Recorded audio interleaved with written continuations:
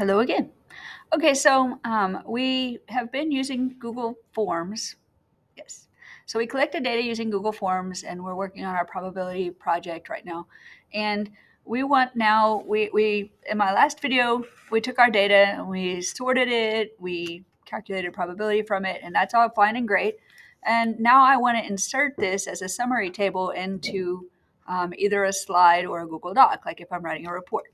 So, okay, we can do that first thing I want to do is I'm going to add a title because, um, you know, it makes sense here because it's a spreadsheet. But if you want to put it in a Google Doc, you want everything labeled and nice and neat so that everybody knows exactly what they're looking at and they don't have to go trying to figure things out. Because if people have to figure things out, they're not going to bother. Okay, so probability summary table. So I want things nice and labeled. So I'm going to take this, I'm going to center it, I'm going to make it super easy to read people are going to be like, oh my gosh, this person has everything together. So we're just going to pretend on that one. Okay.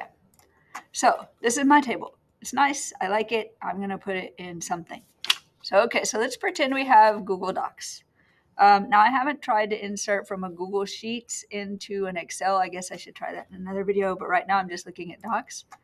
Um, haven't used Docs a whole lot because usually I prefer Excel. But okay, so let's say I have my project report and blah, blah, blah.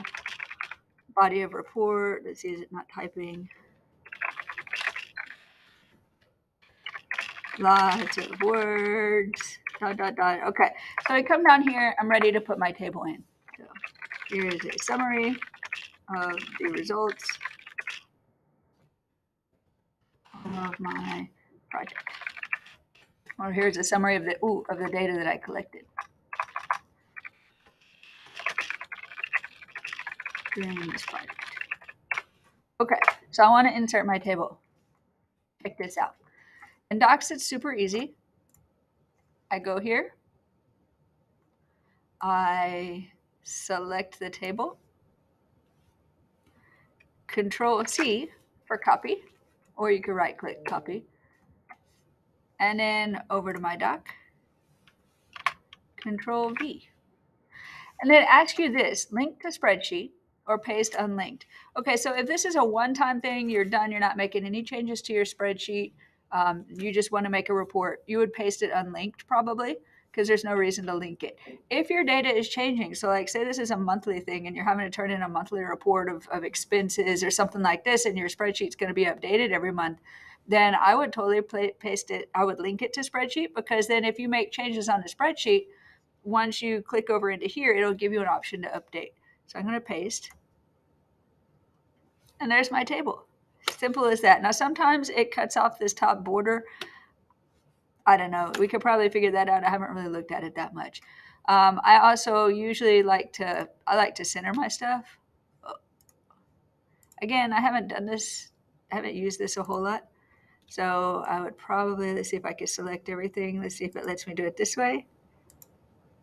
Oh, no, that just aligned the data in the table. I know that you can, sometimes you can find the table properties. I found that one time. You can, if you, if you get to the table properties, oh, maybe it's down here. Then alignment, and I don't want so, I want table alignment. I can align the table center and I'll put the, the table in the center of my page if you want that. Maybe you want it over on the left side. That's totally fine. The default is to the left. So, okay, so that's all you do. So now since this is linked, if I go back here and I change and say maybe there were like, there were 100, there were 180 um, responses, let's say there were 500. Notice that all my probabilities change. When I go back over here, it has a button that says update. If I update it, it puts all the new data in there. So now it says 500 and the probability is all changed. This is super handy if you're going to be doing this like over and over. I'm going to undo that because I don't want to mess up my table. I'm going to go back here. I'm going to update my table again. But yeah, that's super handy. Um, you do the same thing for slides. I'm about to run out of time. The only thing that you have to realize in slides is that you have to insert it onto a blank slide. So you can't insert it into a text box or it'll do funny things. So if you want to insert it here, you just control V into that. Again, you can link it, not link it, and it'll paste it right in. If you if you put it into a text box, it just it messes up.